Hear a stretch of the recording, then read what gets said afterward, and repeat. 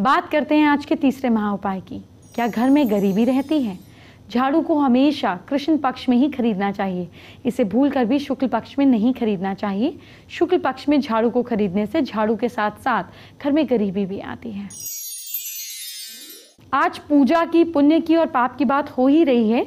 तो चलिए आपको मनोकामना पूरी करने वाला एक अचूक उपाय बता देती हूँ।